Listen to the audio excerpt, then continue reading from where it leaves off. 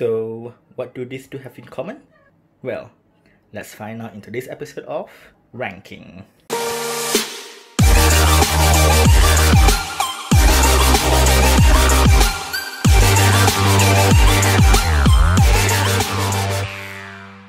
Hey everyone, welcome back to Viewpoint.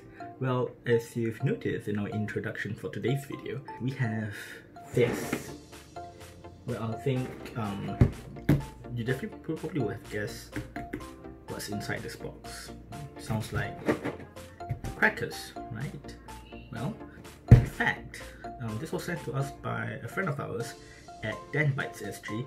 They are a company, a local company that sells brownie crisps. It sounds strange, um, like how do you turn a brownie into a crisp, aka some sort of cracker? Well, they're the first one to do it in Singapore. So let us get to it, shall we? And see what's inside this box. Oh yeah, I'm, I'm using a brownie cut knife. Hold on, let me, let me take a proper cut knife. Got it? Let's open this up. By the way, I've not opened this yet, so that was the first incision. And okay, pretty easy. Oh, okay, that's it. Wow, um, look at that. It's like even they bubble wrap food products. Oh, thanks guys. Thanks guys at Dan Bites. Man, you really care your products, huh? All this bubble wrap. Okay. you, you, can, you can continue that later. Alright, so let me see. Okay. So we have one, two,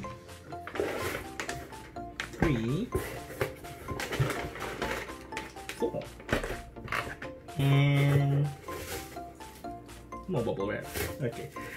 Oh man. So you're not thinking, what are we gonna do with these four packet packets of brownie crisps? Well, we're gonna taste it, and we're gonna find out if they're good. I mean, I think they're probably gonna be good because it's brownie. I mean, how could you go wrong with brownie? I mean, if you guys checked in our last episode, I mean, was it last episode? Last or two last episodes on food-related videos, um, probably will see that we've actually made our own brownie from a recipe that we got from the internet. Uh, and yeah, the recipe is ooh, spot on. and we still do have some leftovers even after like a week. And yeah, we're gonna compare between an original brownie and this brownie crisp. See if they're, you know, better or on par with actual brownies. Look at this. So let's see how many flavors do we have here. First, we got white chocolate here. Right. Next flavor, we've got dark chocolate. Must have dark chocolate with white chocolate, right? Then we have dark chocolate with mixed nuts. I'm guessing those who are allergic to nuts should not take this. Yeah. Yeah. And of course, oh, this one I'm really looking forward to. As you guys can see, the flavor is called milk tea. Milk tea. Dude, who makes brownies with milk tea? Or who makes milk tea brownies? Or who even put milk tea in brownies? Who even drink tea with brownies? No one. But they put milk tea with brownies. And they're selling it. So it must be good. Right? Oh. This is gonna be our last last one to taste. Definitely. And I'm having really high hopes for this. It should be good. I'm really hoping this. Okay, you know what? We should start first with our actual brownie. Just to remind us of the flavor that we had previously. So let's bring in our, well, say scratch recipe uh, of brownies. Okay, I'll link it down below in the comments, I mean in the description box with the recipe for you guys if you guys, you know, keen to actually make one yourself. So I'm gonna just taste a bit of the brownie. Okay. Mm-hmm. It's so chocolatey, moist, melts in your mouth. Literally, I don't even have to crunch. I just have to do that and it's disappeared. The thing is, they mentioned in the recipe to use semi-dark chocolate but technically you can use any type of chocolate if you want, as long as the ratio is proper. And we use dark Belgian dark chocolate. I think that's quite really good. Okay, it's in my mind right now. Now I can remember it. Okay, let's go and taste the brownie crisps. See, here are the four brownie crisps. And right now, you know what? I think we should just go with the dark chocolate because we just tasted our original brownie, our scratch brownie, and like I said, it was made from Belgian dark chocolate. So, well, let's go with the dark chocolate first then.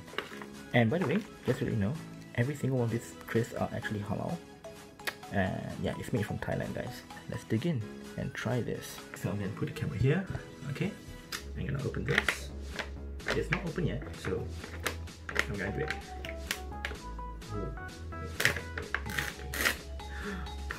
I'm always feeling sad when I'm opening this because it looks so nice and I have to open it like crazy. Oh, by the way, these bags are resealable.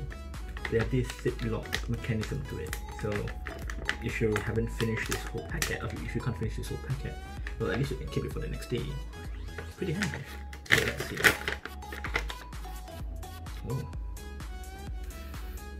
Reminds me of chocolate. Yeah, literally just chocolate. I think you should see it, this at least. Come on. Let me get the camera again. Okay. There you go. That's how the inside looks like. Half of the packet is air and the other half is brownie crisps. Alright, so I'm gonna take one out and show it to you guys in detail. Okay. Hmm. Actually very thin. I mean it is crisp, so it should be very thin. Wait. Should I measure this? Like how thin this is? Hold on. Hold on. Let me just put it on plate. Okay. Alright. It's quite dark. Let me just see how thin this thing is. Oh my god. It's um three millimeters thin. Three millimeters. 0.3 cm thin. So you know what? Let's not delay anymore, let's just taste it.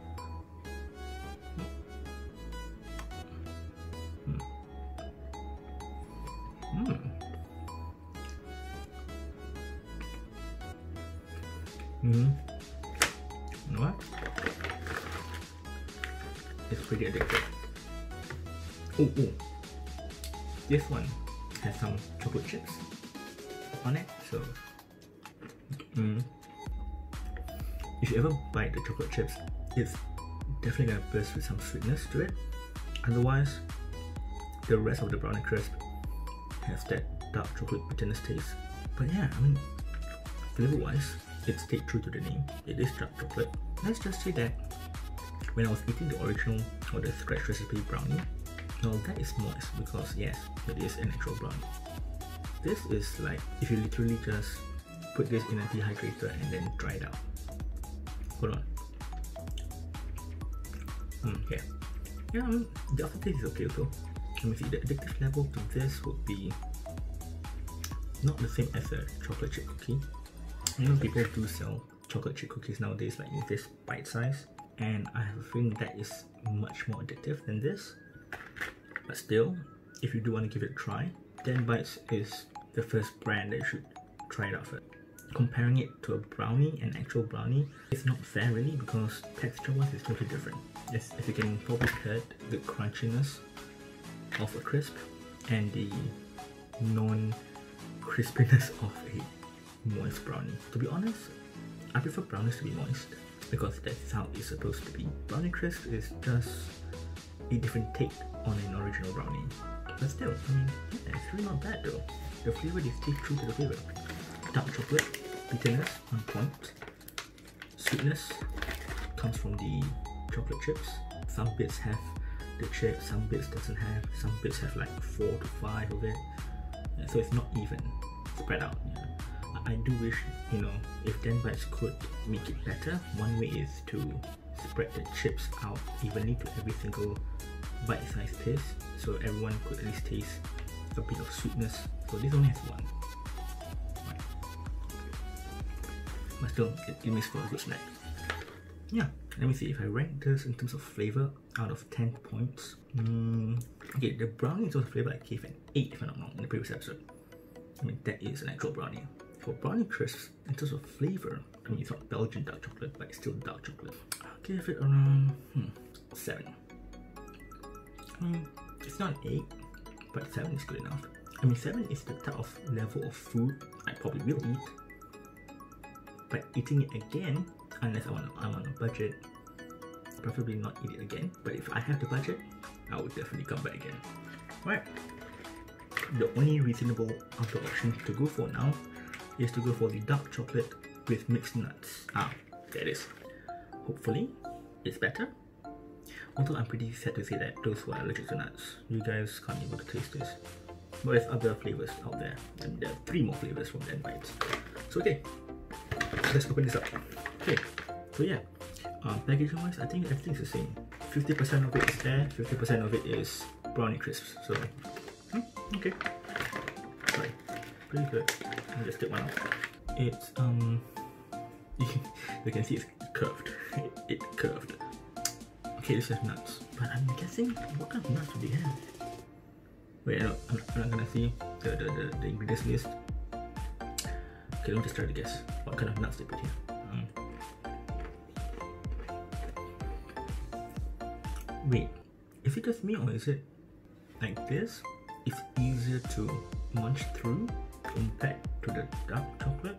Oh, that is weird. Wait, I'm just trying it. Okay, the normal dark chocolate. Oh, it's the same in terms of um, texture wise. Though this is nuts, the texture is still the same. Because the nuts are chopped very finely, you also can't get a textural difference that much. But in terms of flavor, because it's dark chocolate with mixed nuts, so the dark chocolate really outshines the whole thing. Makes sense because dark chocolate are quite potent in terms of flavor. This one is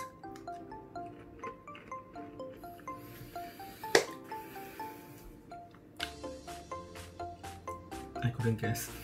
I couldn't guess what type of nut they use. Oh my gosh, what type of nut did they use actually? You know what they said on the ingredient list? You guys try to guess. I give you like 3 seconds to guess. What did they put? Three, two, one. Make your guesses. See that? I mean, if you can't see clearly, I'll, I'll take a screenshot of it. But under the ingredient under the ingredient list, it states as contains nuts. Not sure if it's peanut. I don't think it's peanut because peanut is very distinct. Even in little bits, you can really taste peanuts. I'm not sure what kind of nuts they use. Okay. Flavor wise, those who are allergic to nuts, you're not gonna miss out anything much about this. Might as well just take the dark chocolate one because flavor wise, these two, I'm confident enough to say 95% flavor wise is identical. 95%. So there you go. In texture wise also you can't really you can't really differentiate. So another 7 out of 10, I'll say. Uh, okay, so the next one will be white chocolate. Isn't it just blondie? Okay, to be honest, I've never tasted blondies before. If, if you guys have tasted blondies, please comment down below and describe how it tastes like. That would really help. I'm just gonna try it out again. Time to open it. Oh, oh, oh, oh! The smell reminds me of butter cookies, and the shapes is different. Really different. You guys should take a look at this. What does that reminds you guys of? Like literal potato chips. Look at that rounded, edgy shape. I'm guessing when they made this, it wasn't on like a, a, square pan like the rest. I mean like the dark chocolate, the dark chocolate with nuts. I'm guessing like they block, they block the batter into the pan, and therefore this is how it turned out. So guessing this little guy here should be white chocolate too. Okay, let's taste it. Ooh, ooh, ooh.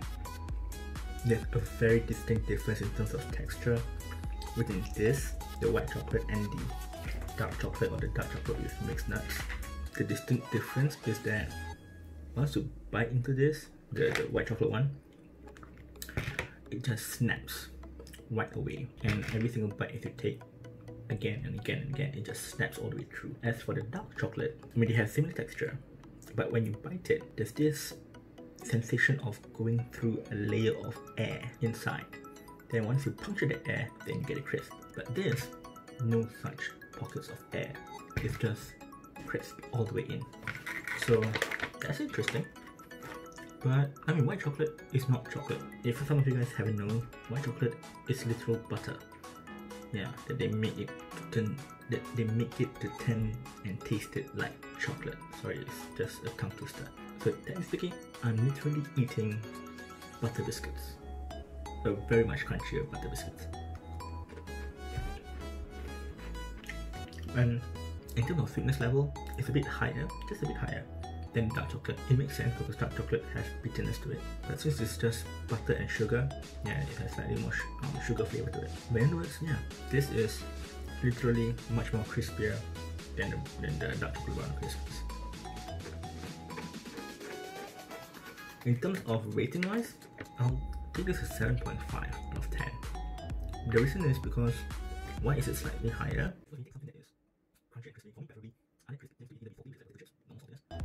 So far it's really good. Yeah, I'm not disappointed at all. To be honest, I can't really compare it to an actual brownie because it's just not fair. But at least it reminds me of the flavor difference and the textural difference to it. So, in other words, brownie crisps, they are on a different scale compared to normal brownies. For me, I would prefer to eat normal brownies any time of the day. But of course, the thing is, with crisp, you can literally munch it when you're working because it's a snack. But for brownies, you can't do that because every single block of brownie has a lot of calories. But anyways, um, yeah, let's go and move on to the milk tea. Let's try open this up. Okay.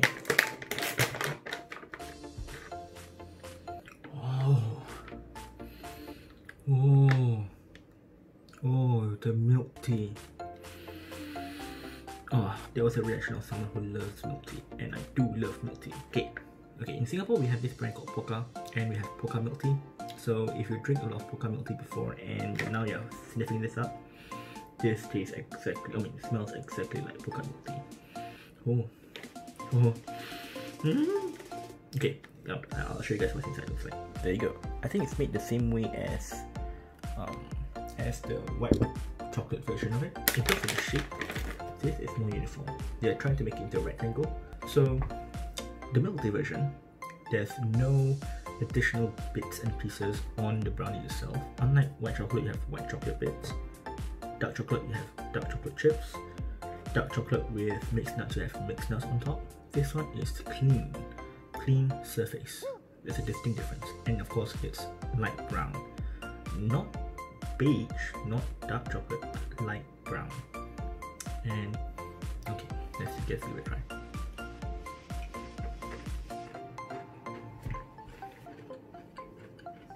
Kudos to those people can right.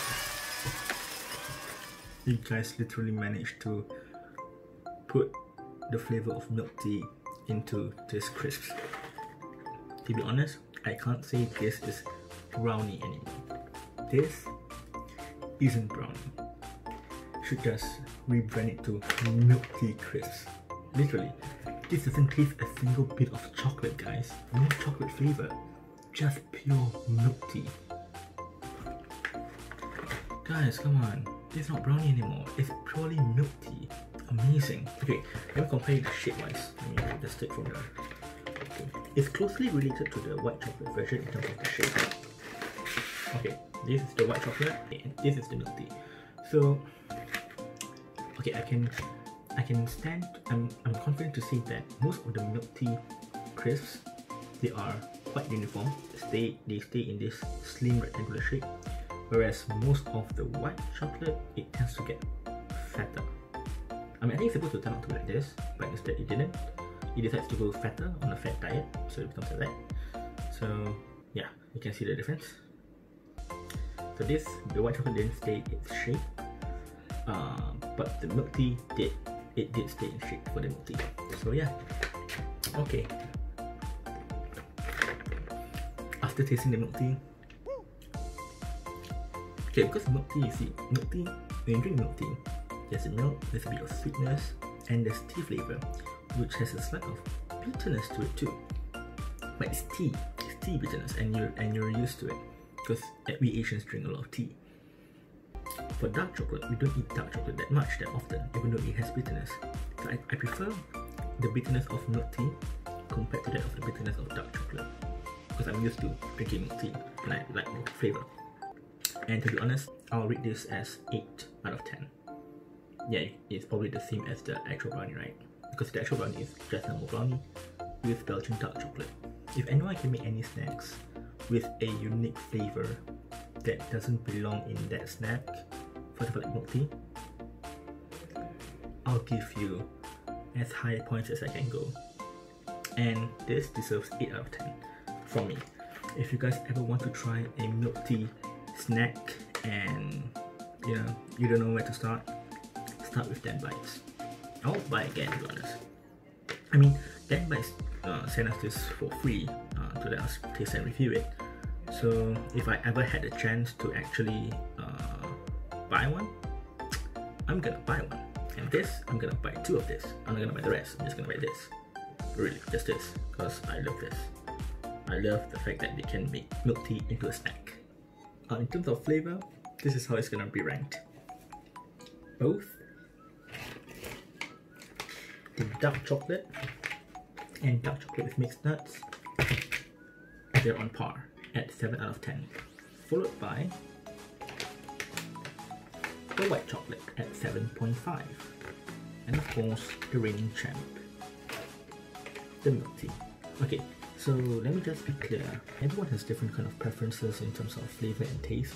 So, I mean, if you guys have a slightly different preference, do comment down below and let me know. I'll love to read it. Um, thank you guys for watching so much. Uh, and then, if you guys seen this, I'm hoping that you guys could, could create more unique flavors in the future. And my favorite, the milk tea. That's it for me. You guys, um, hopefully you guys can subscribe to our channel. Do look out for more videos. We have four videos per week. Food related are always being uploaded on Fridays. So yeah, I see you guys soon. Thank you for watching. Goodbye. Sorry, I need to break it up to you guys. Um, after checking the ingredient list thoroughly this time round for every single brownie crisps, what I realized every single one of them did mention that they contain traces of nuts. So anyone who is allergic to nuts, I'm so sorry, you guys can't get them. I'm so sorry. Even milk tea, I'm surprised even even the milk tea flavor has nuts, has traces of nuts, not solid nuts, but traces of it. And another thing that I need to also let you guys know, um, my Dan Bites, um, if you guys watching this video, I'm so sorry. For your, okay, I'm also a bit confused. Um, for your dark chocolate with mixed nuts,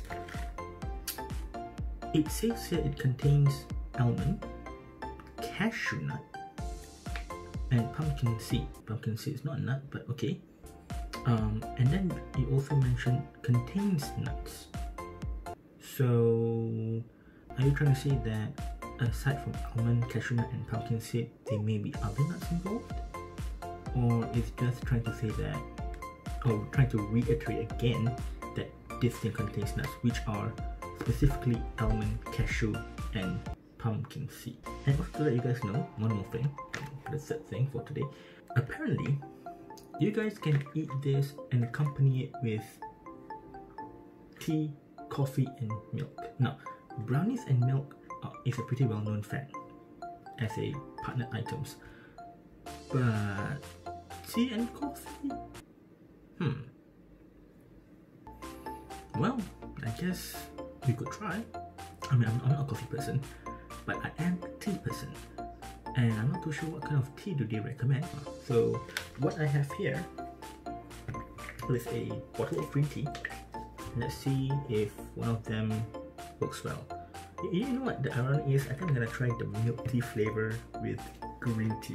See if we can like for example combine milk green into milk green tea. And we know there is such thing as a milk green tea out there. So yeah, why not? Milk tea, green tea. Let's try.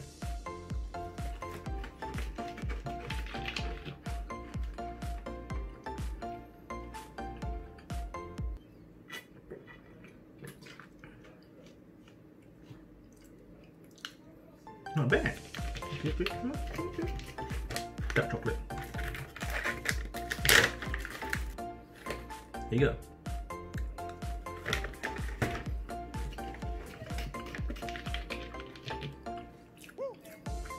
It's chocolate.